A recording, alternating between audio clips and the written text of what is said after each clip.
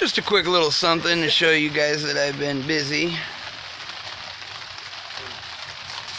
Video on all this work to come soon. As you can imagine, lots of hours of video to go through. Underbody is stripped, all dust guards, all the heat shields,